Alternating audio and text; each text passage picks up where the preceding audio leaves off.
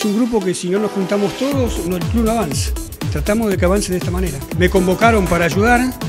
Como la- la- mi tarea es ser electricista, vine, con, terminé de colocar las luces, arreglamos todo y colaborando con el club como siempre. y al vender esas camisetas han conseguido fondos como para modernizar todo el vestuario local y también el, ar- el modernizar todo el vestuario de los árbitros, que es lo que hoy se está inaugurando. Estamos contentos porque hay alguien que se acuerda de nosotros, ¿no? A veces somos tan criticados, bueno, hoy fuimos recibidos por la gente de aquí en la institución, con un vestuario al primer nivel como uno está acostumbrado. Hicieron todos los box nuevos, se cambiaron griferías, se cambiaron todo lo que es la parte de los vanitor, se arregló un poco, se hizo una mesa nueva que si podés, podés tomarla. Se mejoró bastante, se le cambió la cara porque ya estaba bastante deteriorado.